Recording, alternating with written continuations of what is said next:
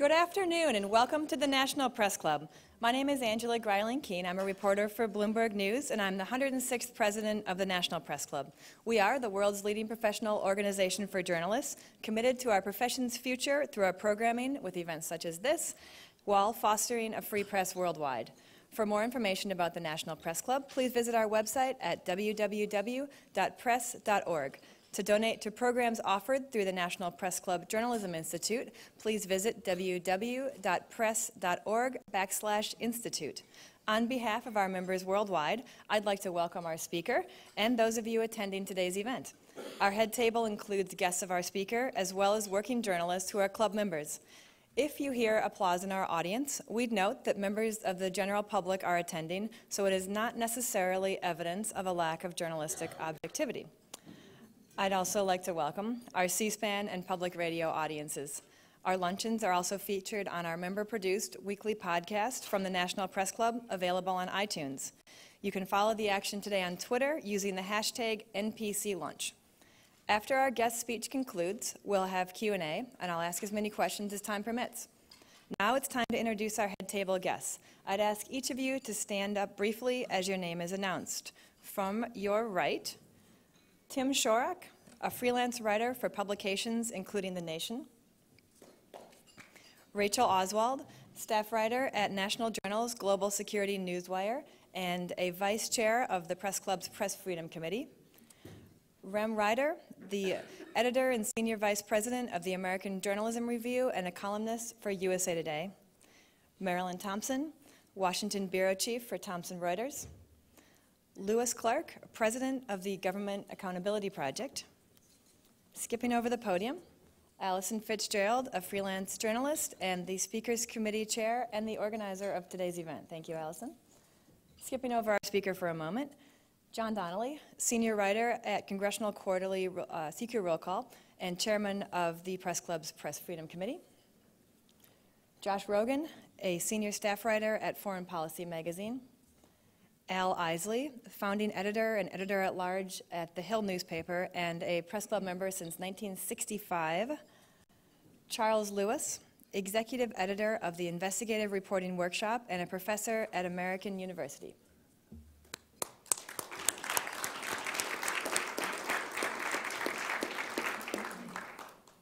Two years ago, our guest today was accused by the U.S. Justice Department of espionage. The Air Force veteran and longtime senior executive at the National Security Agency was accused of giving classified documents to a news reporter. Thomas Drake faced 35 years in prison. A year later, on the eve of his trial, the government dropped all felony charges against Mr. Drake.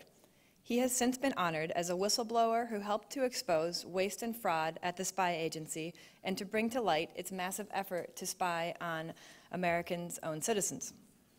Mr. Drake's ordeal began coincidentally on September 11, 2001, which happened to be his first day as a full-time employee of the NSA. Like all other U.S. intelligence agencies, the NSA had missed key pieces of information that might have tipped off the government that the terrorist attacks were imminent. Shortly after 9 11, Mr. Drake came to believe that the agency could have predicted the attacks if it had made use of a surveillance system known as ThinThread that could sift through massive amounts of data and detect patterns and key information. Instead, NSA leaders turned to outside contractor SAIC to build a new data collection system called Trailblazer that cost more than $1 billion, 10 times the cost of ThinThread. At the same time, Mr. Drake learned that the agency was turning its surveillance capabilities on American citizens, which he believed was a violation of the U.S. Constitution. He decided to speak up. Mr. Drake reported his concerns about money wasted on Trailblazer and about domestic surveillance to Congress and to the Defense Department's Inspector General. He became a material witness in two 9 11 congressional investigations even after the Inspector General found that the Trailblazer project was a massive waste and the program was killed, little changed at the NSA. Mr. Drake then decided to go public. He brought his information about the problems with Trailblazer to a Baltimore Sun reporter who wrote a series of articles exposing the waste. Mr. Drake insists he did not reveal any classified information. Yet, when the New York Times in 2005 reported the stunning news that the U.S. government was tapping into its citizens' telephone calls with no warrants, Mr. Drake became a target in one of the most aggressive leak investigations in history. Agents raided his home in 2007, took his computers and files, and threatened that he could spend the rest of his life in prison. In 2010, the Justice Department indicted Mr. Drake for, quote, willful retention of classified documents. It was only the fourth time in history that a citizen was charged with espionage for mishandling documents.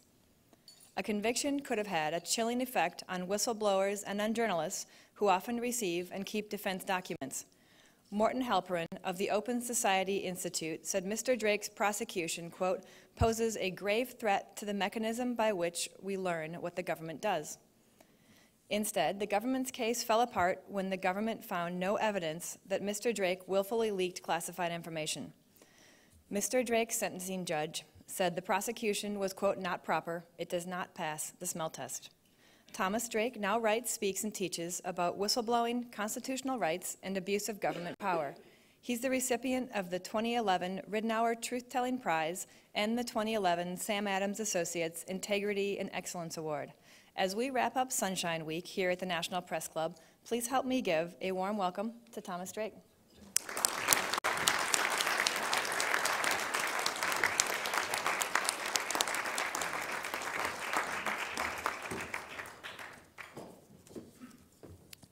I'd like to thank the National Press Club for inviting me here.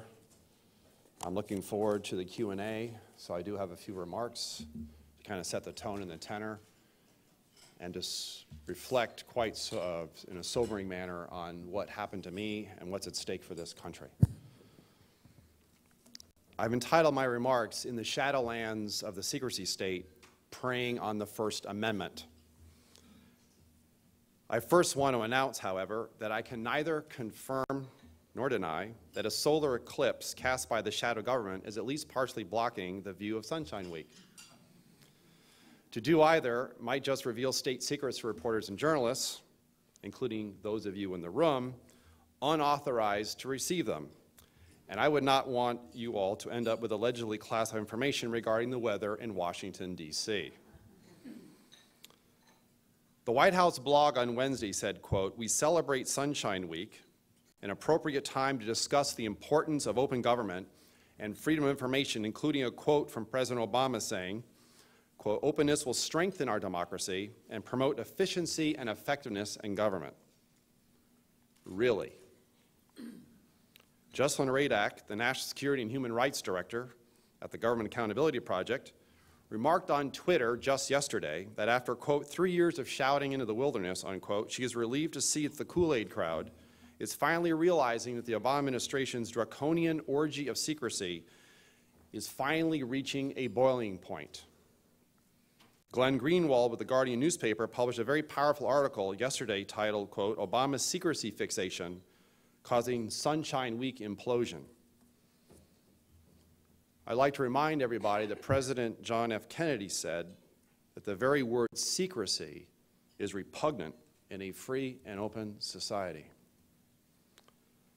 I like to think that we have reached a critical event horizon. And whether national security as a new state religion will further suck the dwindling light of the First Amendment into the black hole of classification and secrecy hidden from public view. It seems that secrecy is actually strengthening the national security state in order to hide from accountability and oversight at the expense of informed public interest, where it matters the most. What is the price of keeping the public in the dark and having a government increasingly operating in the dark through secret law or interpretations in secret of existing law? After all, this very event is part of Sunshine Week. And I would like to highlight just one event that brings the message of Sunshine Week home regarding what's so at stake and our increasingly two-faced government. The House Oversight and Government Reform Committee held hearings this week on addressing transparency in the federal bureaucracy, moving toward a more open government. The larger theme of the testimony before that committee centered on the inherent tension between the President's pledge for a new era of unprecedented openness and a record of invoking threats to national security to keep the public in the dark time and time again. The written testimony, and here I give a shout out to the Project on Government Oversight and their Pogo blog, states, quote, there seems to be two Obama administrations, two American governments, really. One looks like a democracy in which an open government accountable to the people is an ideal and a priority. And the other is a national security state where claims of national security often trump democratic principles such as a people's right to know, civil liberties, freedom of speech, and whistleblower protections. Of course, this is not an approach exclusive to this president, but the unchecked secrecy of Obama's national security state is at cross purposes with many of his administration's openness objectives, and it raises doubts about the president's commitments and declarations about transparency, unquote.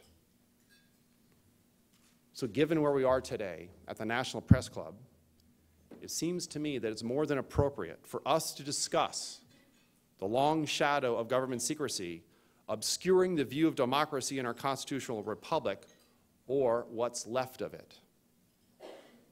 Threats to the First Amendment by the government is bullseye centered on a free and unfettered press designed to suppress and repress speech and political expression in America, create fear through unilateral authority and privilege over what is fit or unfit for the First Amendment.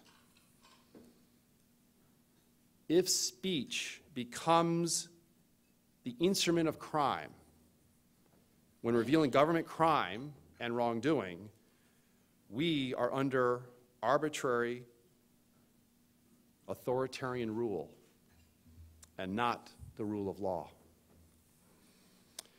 In our post 9 11 world, the government is increasingly in the first unamendment business, engaged in a direct assault on free speech and the very foundation of our democracy, because our very individual freedoms have now become fair game for the secrecy regime, all in the name and under the mantle and cloak called national security. In fact, I can make an argument that government increasingly prefers to operate in the shadows and finds the First Amendment a constraint on its activities. And yet, taking off the veil of government secrecy has more often than not turned truth tellers and whistleblowers into turncoats and traitors, who are then often criminally burned, blacklisted, and broken by the government on the stake of national security. Egregious violations of the Fourth Amendment, many still occurring in secret far beyond the awareness and knowledge of most Americans, are eroding and chipping away the First Amendment. For example, the Patriot Act, along with a number of other enabling acts, including, including the recently reauthorized FISA Amendments Act, plus many more, including massive abuse of CALEA, ECPA, and CFAA, are now blunt end instruments of a homeland security and surveillance apparatus that legalizes government deception, citizen monitoring, and wrongdoing, while those who reveal government wrongdoing, illegality, and embarrassment are often prosecuted and increasingly indicted for speaking, speaking truth to power. I know. I knew too much truth and exposed government illegalities, fraud, and abuse, and was turned into a criminal for doing so. I was charged under the Espionage Act, faced many years in prison, and became an enemy of the state. It was five years of living under the boot of the surveillance state. And yet, and yet, I was saved by the First Amendment and the court of public opinion and the free press, including the strength and growing resiliency of the alternative media, the very cornerstone of all of our liberties and freedoms, the one on which all the rest rely, the active voice and conscience of the Constitution of the United States of America. Freedom means everything to me.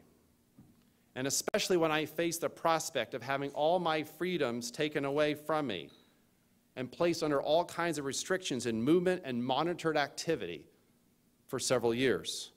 So for the sake of our common future and the country we want to keep, we must ask of ourselves some very hard questions. Is the First Amendment becoming a casualty in an indefinite, undeclared war where notions of, free, of a free press, public interest, and informed citizenry get in the way of national security interests defined in secret? In our wired and wireless world, what happens to anonymous speech and the press on the internet when the government has a persistent dragnet surveillance system in place? The emergence of a virtual Orwellian state. Do we really want the government listening in on and tracking the lives of so many others? Have our constitutional freedoms become the latest victims of 9 11? Is the intolerance shown by the secret federal government for the magnificent of our precious First Amendment freedoms a foreboding of things to come? Will national security replace our individual rights? Will fear take priority over freedom?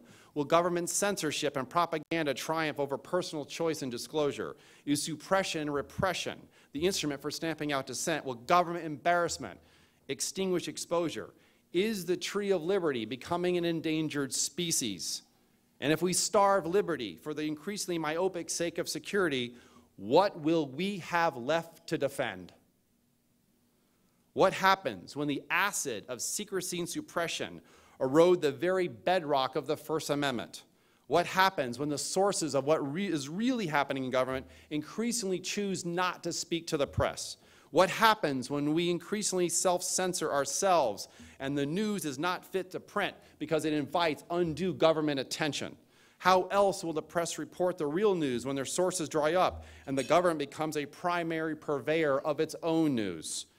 It is our freedom of choice that is at stake as citizens and not the government's to just take away from us in secret under the guise of keeping us safe from ourselves. We must now rescue the Constitution from our very own government before it becomes a hollow shell of its former self.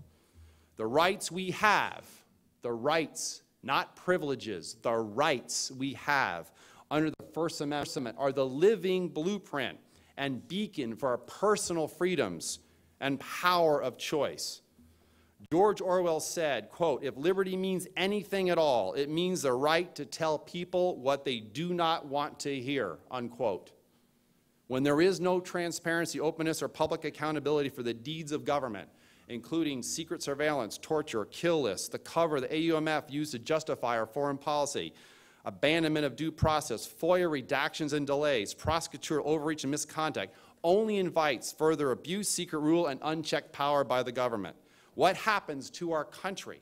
What happens to our country when laws are secretly reinterpreted behind closed doors by government officials who prefer to operate in the shadows without public debate, but promote and support laws that violate the privacy and protections afforded by the Constitution for the sake of national security?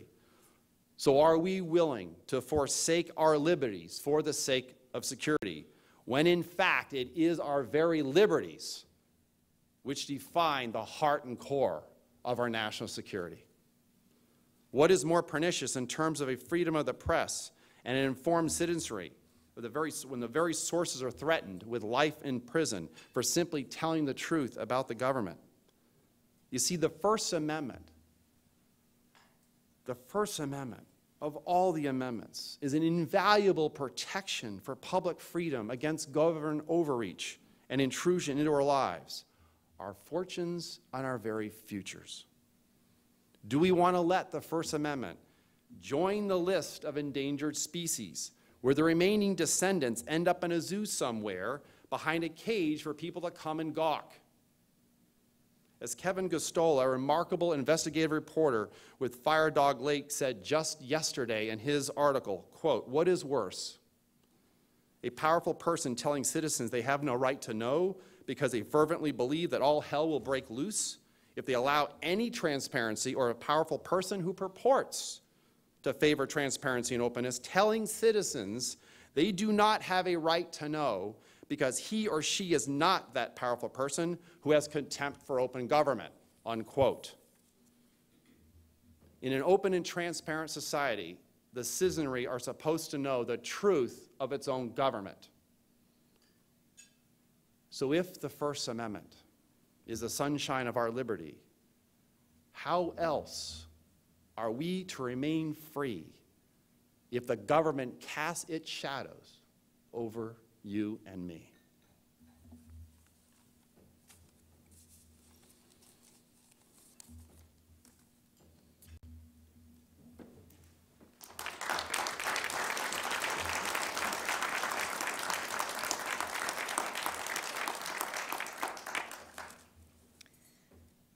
After your experience, would you advise someone else in your position to blow the whistle on government wrongdoing?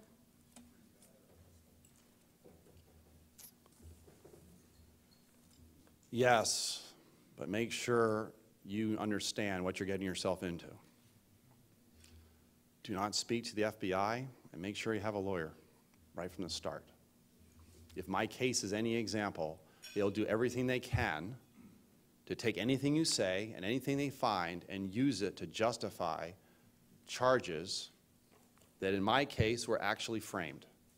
See, I told the truth to the FBI agents. They didn't believe me. In fact, four of the 10 felony counts were for making false statements. One of them was for obstructing justice. You know why? Because the chief prosecutor said that unless I cooperated with the investigation, they were going to pursue prosecution. So the answer is yes. We actually need more. Having spoken to Daniel Ellsberg, he actually thought in the early 70s, with all the publicity that surrounded the Pentagon Papers, that more people would actually step forward. And other than some close colleagues and associates, guess what? Hardly anybody else stepped forward regarding the travesty of Vietnam.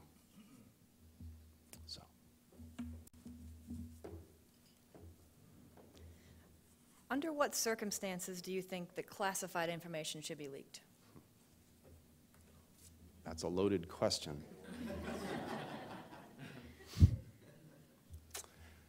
Classified is, see, what's happening now is the government is increasingly wants to classify as much as possible.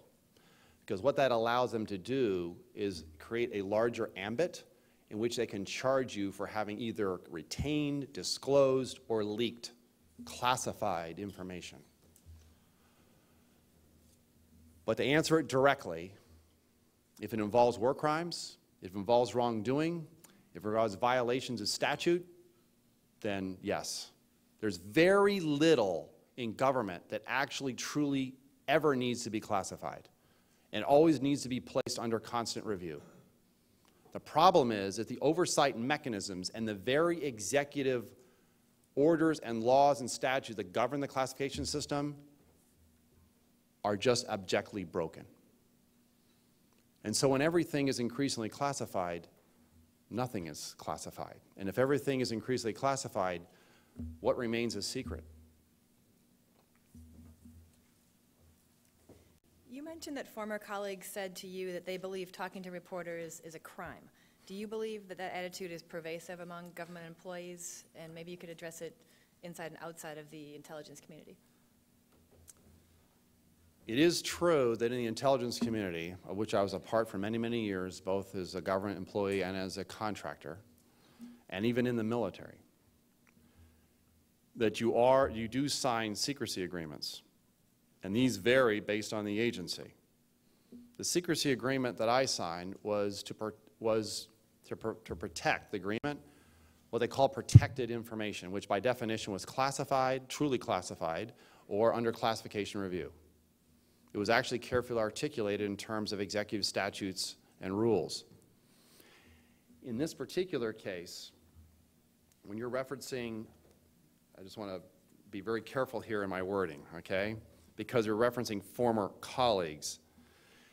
There was this misunderstanding that if you happen to speak to a reporter, that by definition, anything that you might say to them could be characterized as classified because you, unless it was authorized, then you were in an unauthorized status, and therefore you were liable under administrative rules.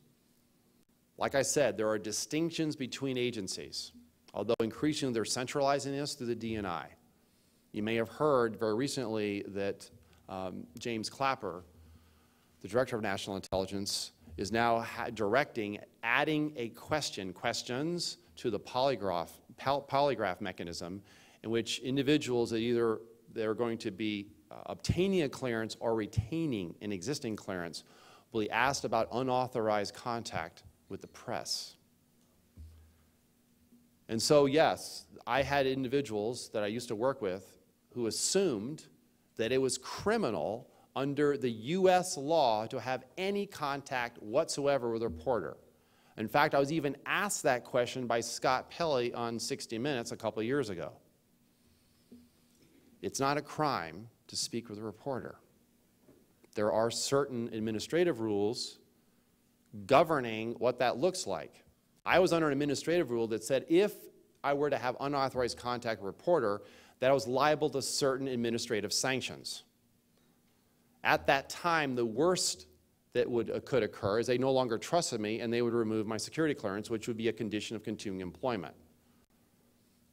After 2005, when I knew that there was a strong likelihood that I would get caught up by mere association in the criminal national security leak investigation regarding the Risen and Lichtblau article, which revealed publicly for the first time the existence of the so-called warrantless wiretapping program, I knew that they were now criminalizing contact with the press. And not only was it going back to the Watergate era and the Pentagon Papers, but it was now the full force of the Department of Justice was going to come after anybody, especially if you al- were allegedly retaining or disclosing information related to national security that they didn't take too kindly to. Questioner says, "You don't acknowledge that there are sometimes legitimate government secrets. Isn't this more about balance? Don't we need to keep some secrets?" I think I partially addressed that earlier. However, are there legitimate government secrets? Remember, I lived in the secrecy regime for many, many years. When it came to comes to troop movements, nuclear secrets, and those kinds of things, right? Certain sources and methods, then there are legitimate reasons to keep those secret for that time. So it's not like I'm standing up here saying there are no secrets at all. But this is where it gets conflated, meaning if you say anything, then you automatically come under the boot of the, of the secret rules governing the classification system. That's not true at all. The secrecy system, and I'm going to be very, very clear here, is not to be used to cover government illegality, wrongdoing, hiding, administrative inefficiency, ineffectiveness, or, or in fact, the government, where the government's actually threatening public safe and, and, and, and uh, health and safety, fraud, waste, and abuse. In my experience, the secrecy system has become so corrupted that it's now being used routinely to do precisely that under the color and cover of law. And when the color and co- uh, cover of law is no longer sufficient, then we'll just make up the rules. It's one reason the defense experts in my own criminal case were so outraged by the government prosecution. Both Mort Halperin as well as Bill Leonard, the very individual who used to head up the Information Security Oversight Office, the office responsible for the classification system and the integrity of that system within the U.S. government. But obviously, what I had re- allegedly retained or had allegedly retained for the purpose of disclosure to others not authorized to receive it under the Espionage Act of all things was in fact revealing the very kinds of activities that are actually not permitted by the secrecy system.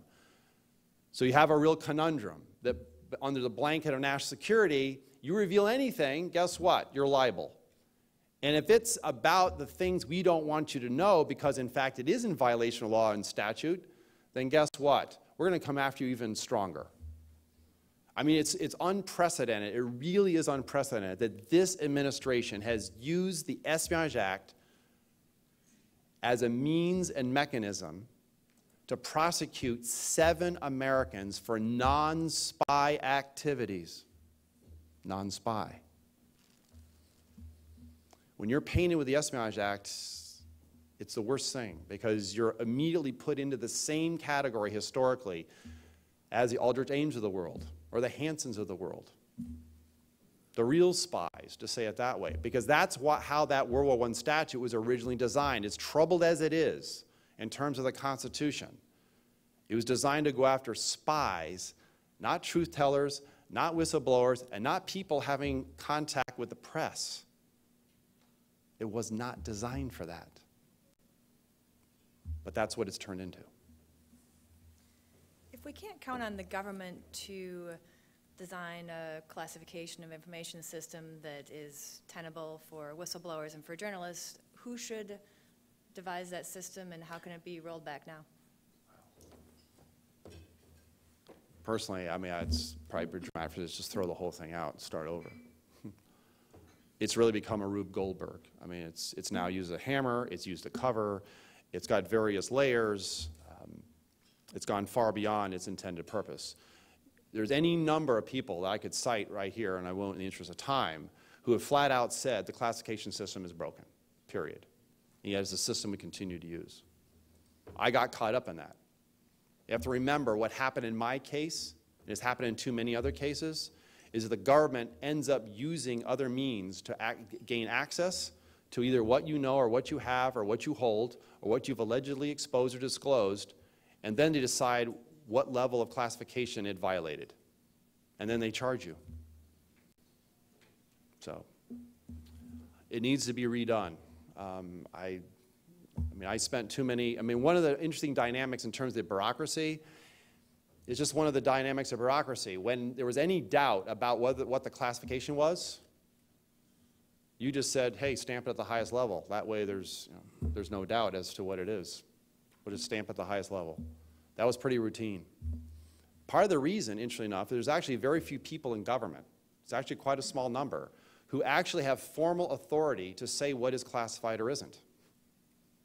This is one of the things that people don't fully appreciate. The number of people that actually have what's called originating classification authority is very, very small. And it, normally in the system, it was designed for when you were doing public releases or you were actually formalizing a report to send out within the government or for, or for other types of releases. That's when it would come under the review. There were the rules, but a lot of the systems allowed you, where you were, just to say, hey, I'm not, if I'm not sure about what this is, I'll just stamp it at the highest level. The NSA still has a program to conduct surveillance on people within our borders. Do you see that as a defeat after all that you and other whistleblowers have gone through? A defeat, interesting enough. I mean, it's a defeat that that means that they've won, to say it that way. You know, this is an area, the, subject of secret surveillance is something that I live with every day. Because that's, to my horror, I discovered that that's precisely what the government was doing shortly after 9 11. And that program has only grown, and it's gone through various iterations.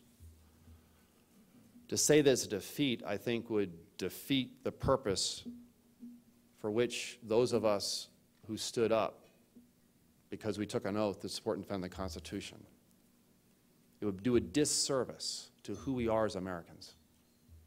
See, myself and others who did have the courage to stand up in spite of the risks, and in my case, facing many, many decades in prison for having done so, we knew that none of this was necessary. We knew there was no need to ever go to the dark side. We knew that the American exceptionalism was not getting away with and breaking the law because we're Americans, the exceptionalism is that the fundamental basis for national security were our liberties and freedoms. I'm just telling you, and I've said this to, in many other audiences, there was never any need, despite what happened on 9 11, to have ever gone to the dark side. There was never any need at that time to violate in such a vast and egregious manner the Foreign Intelligence Surveillance Act and turn the United States of America into the equivalent of a foreign nation for the purposes of secret surveillance. Why? Because they would tell me the following Tom, you don't understand. We live in extraordinary times. We live in exigent, this is the word, exigent conditions. That requires extraordinary means and exigent means by which we will deal with the threat. And if it means we're going to violate the rights of you know, some Americans, hey, they have nothing to worry about if they've done nothing wrong. The problem is, we don't get to decide what it is that we've done wrong. I'm a perfect case example of that.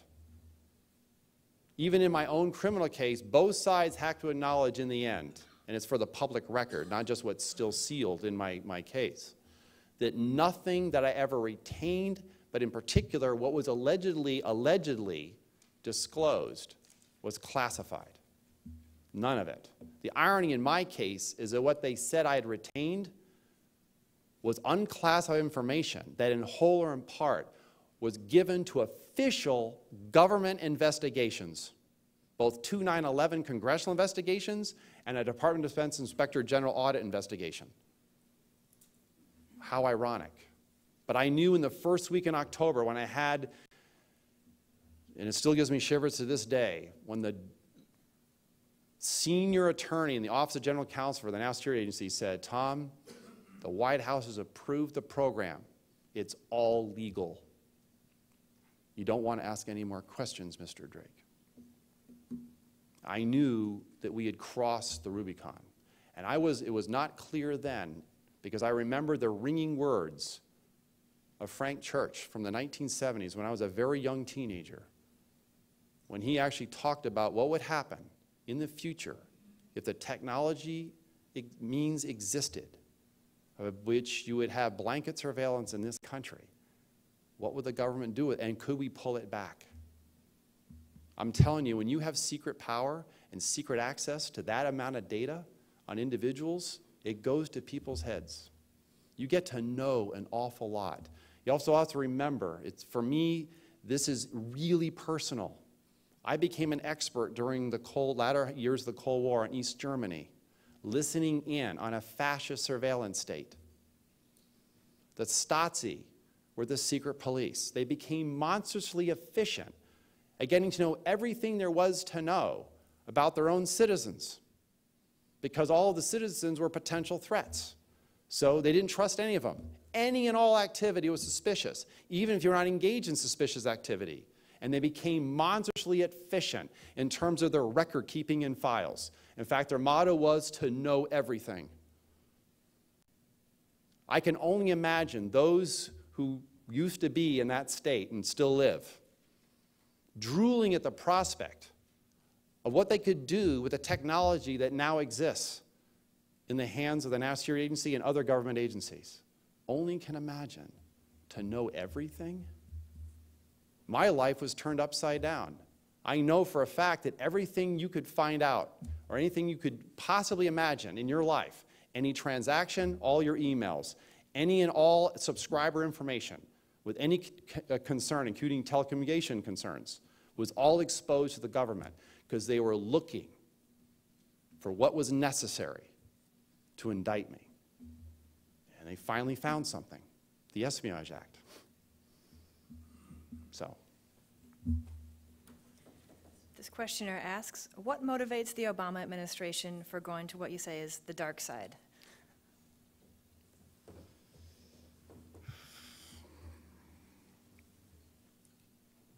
You know, Lord Acton said that power tends to corrupt. Doesn't mean it will.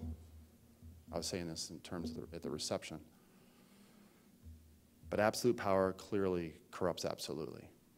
If history is any guide, and even though history would say that it's, it's a temporary condition, that freedom ultimately prevails, we've had some very dark chapters in human history, particularly in the 20th century.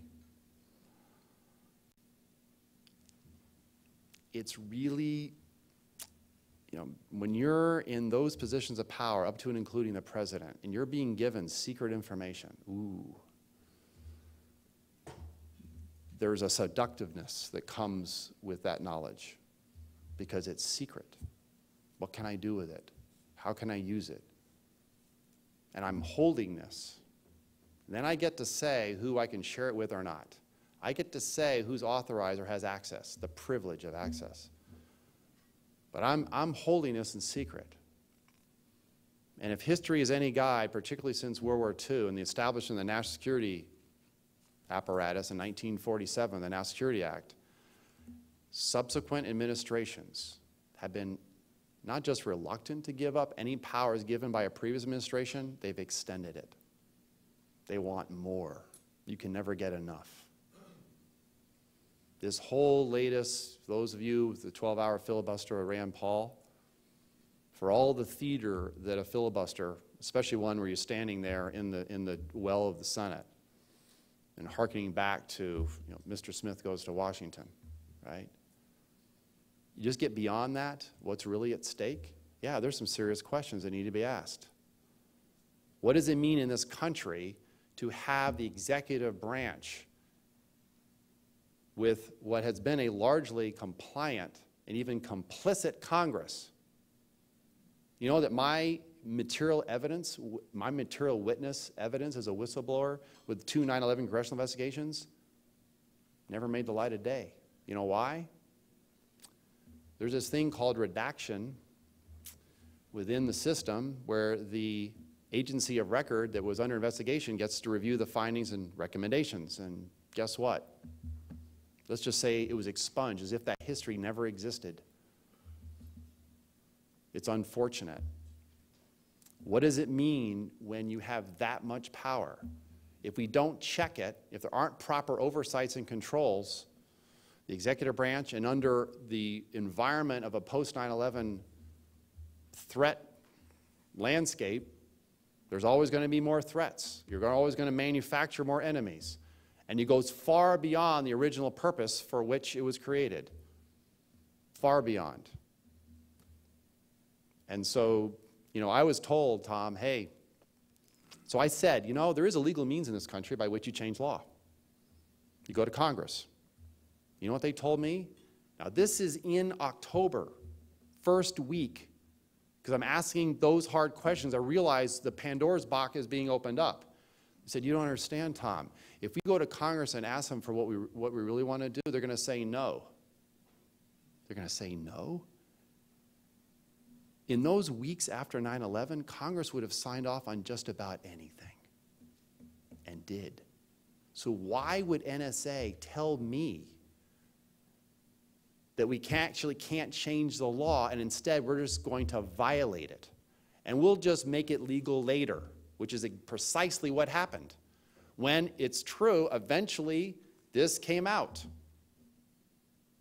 And they used, it is a violation of our system of justice to use ex post facto law to make legal what was illegal as cover, give the telecommunication companies that were cooperating at an extra- extraordinarily deep level with NSA, provide them immunity, and then expand that in 2008 with the FISA Amendments Act, which just becomes a rubber stamp.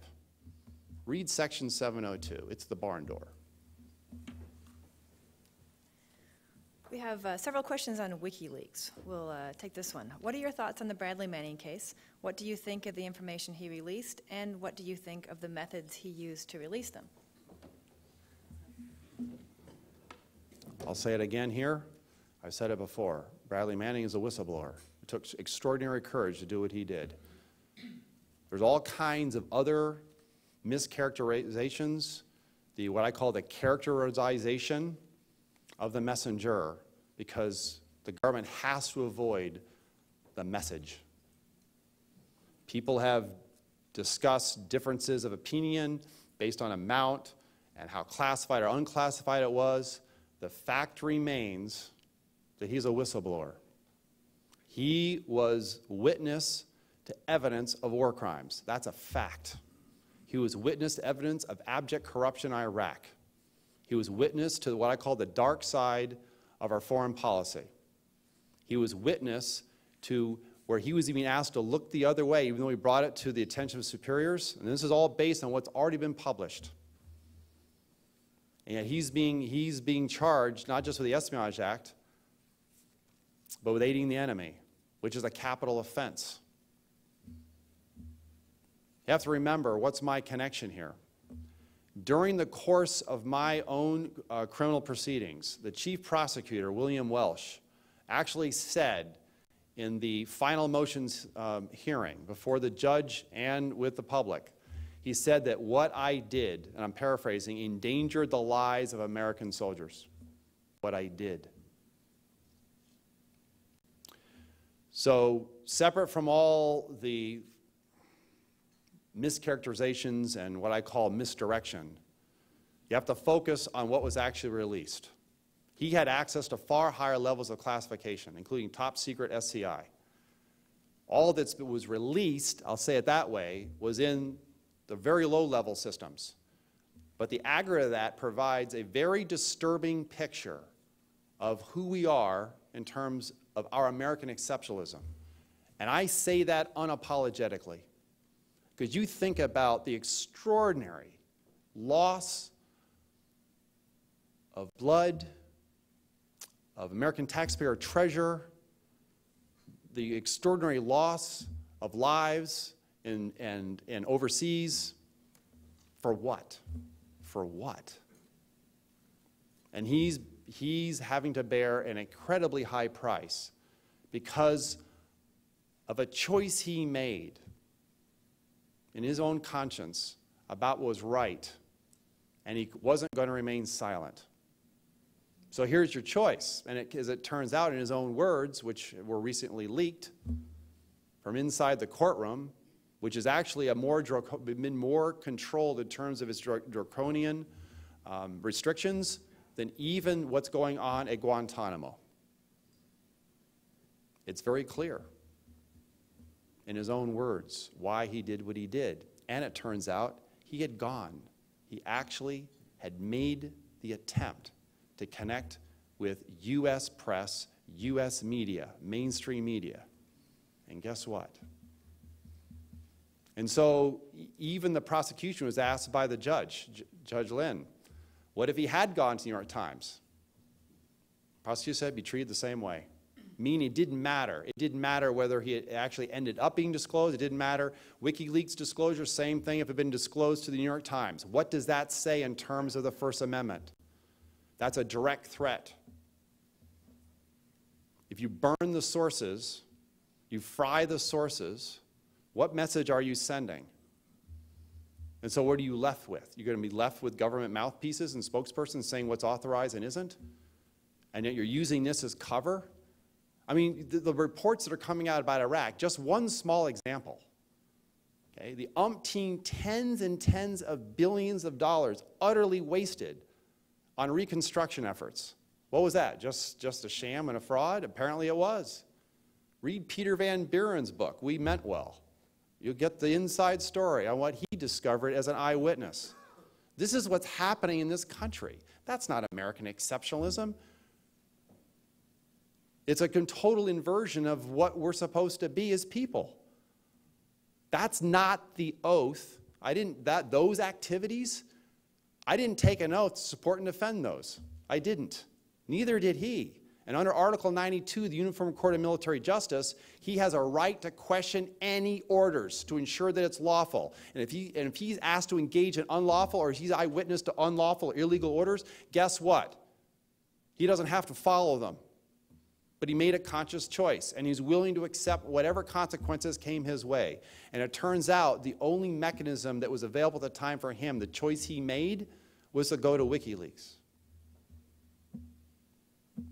I find it ironic, incredibly ironic, that the disclosures he made were so extraordinary for the time period of those disclosures that other mainstream media had on their front pages over many, many weeks and months. What does that tell you? I guess it must have been fit for news.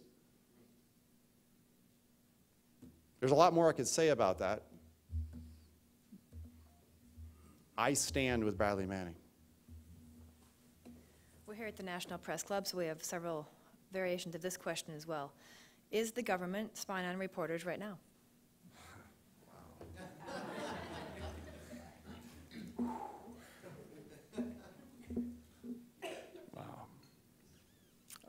Hear you laughing. See, here's the dark side. Because there's a whole lot I have still have not shared fully publicly, okay? Although I've shared this with 9/11 congressional investigators, and I've shared it with others in Congress when I was still in the government as a senior executive. I've made allusions to it in other public fora. I've written about it. I remember what happened you know, in the 50s, 60s, and 70s, right? Where instruments of national power were used against reporters.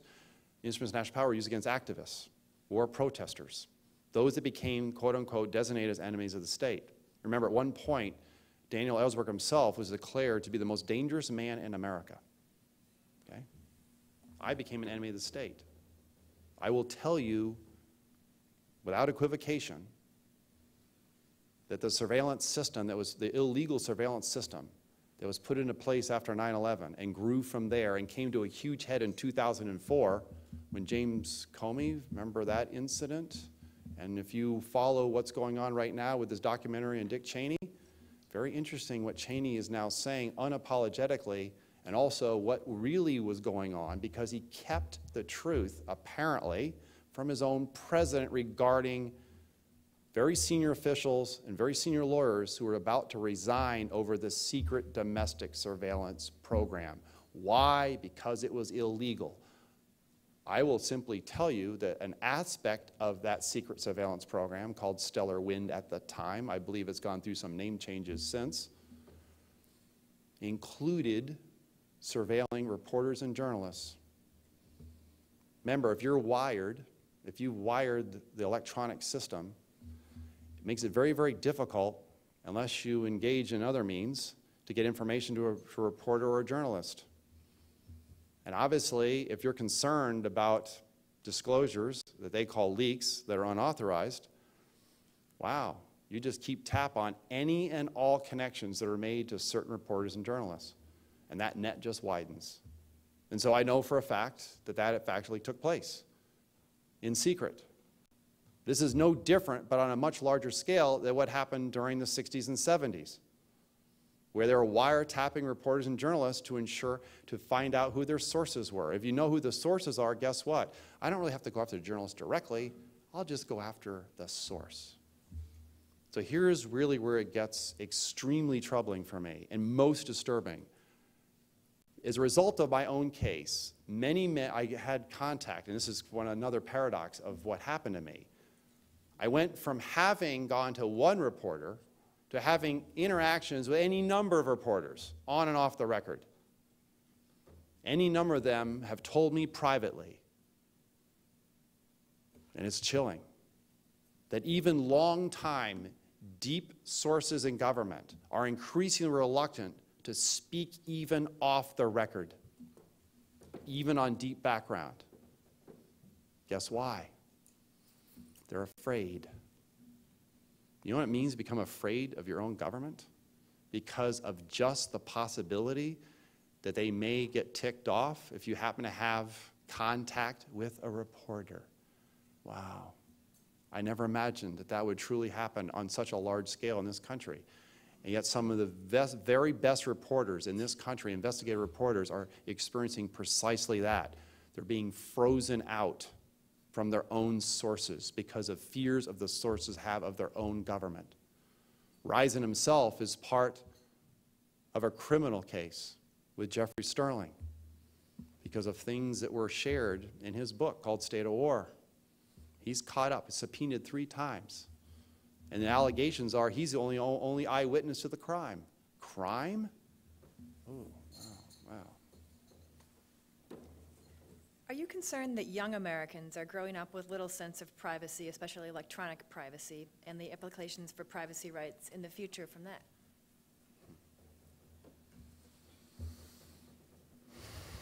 I have a son who's 17. Extraordinary son. And we've had long conversations about what happened to me and what's happening in this country.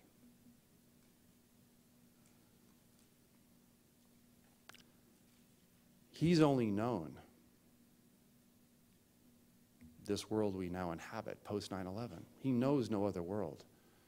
Most of us in this room actually remember a pre 9 11 world. At a minimum, I'd like to return to 9 10. The price is way too high way too high.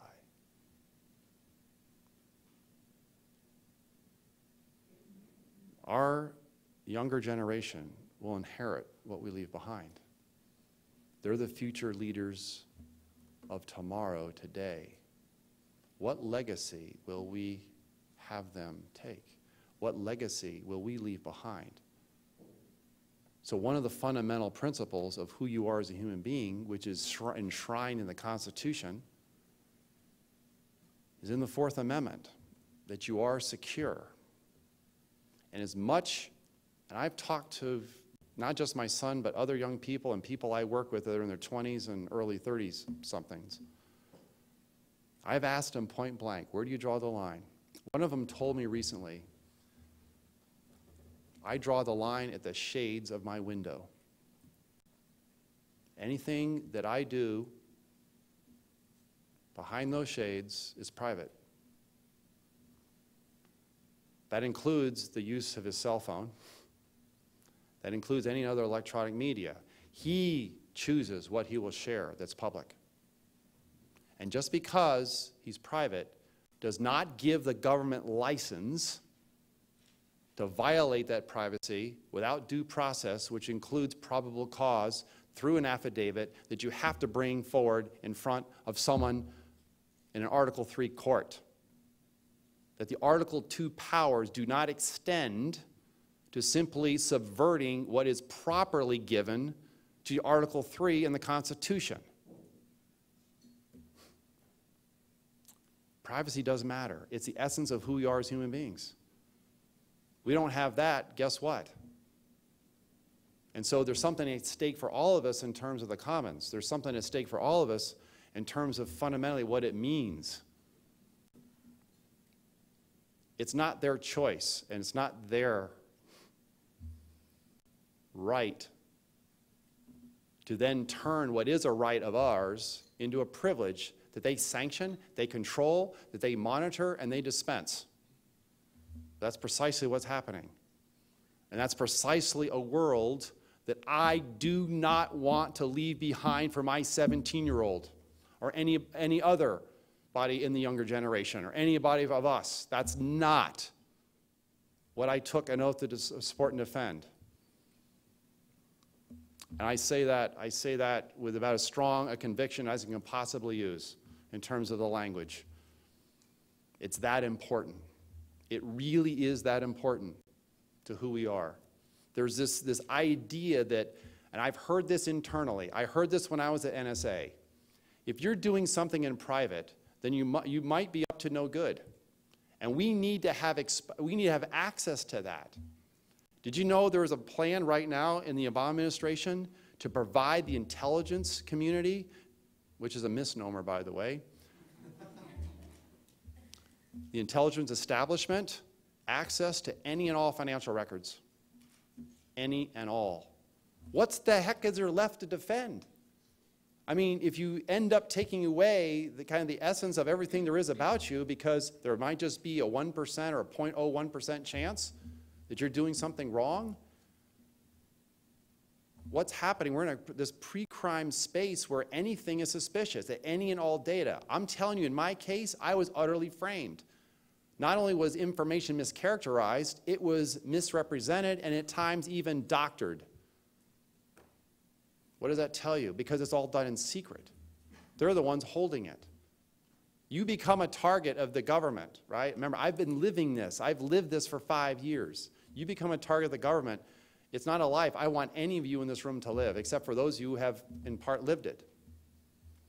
What people, another thing to share with you everybody, and I have not said this directly in this type of a form, but I'm going to say it here everybody that was associated with me, either because they used to work for me or had links to me or had ties to me, by mere association assembly, that freedom to do so under the First Amendment, were investigated, were interrogated.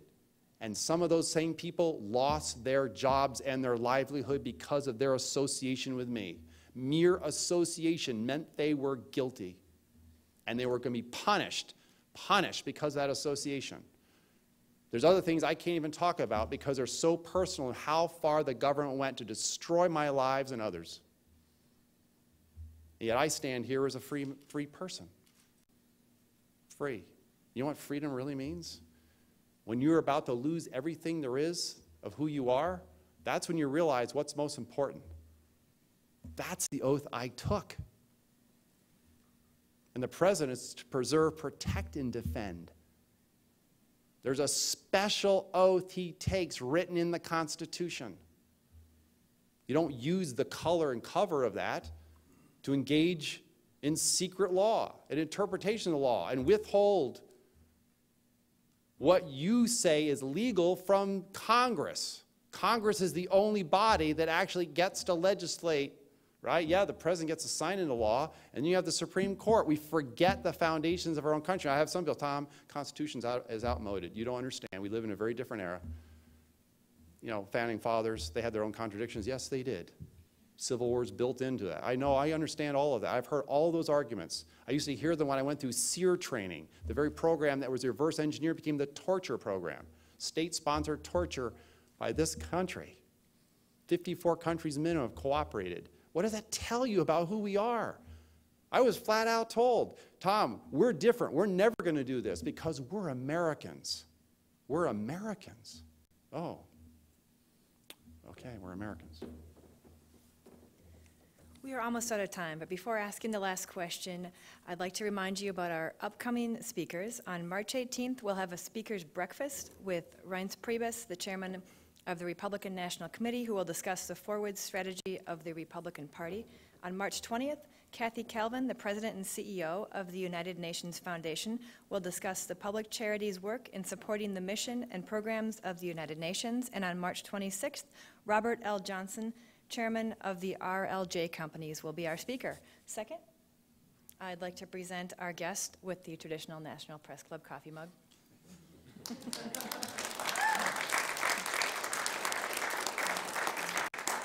I'll pour a little truth in it and share it with you all. okay? And for the final question, you were profiled on 60 Minutes and on The Daily Show, two very different formats. Who would you say did a better job on your story, Scott Pelley or Jon Stewart? Both. How about a round of applause for our speaker?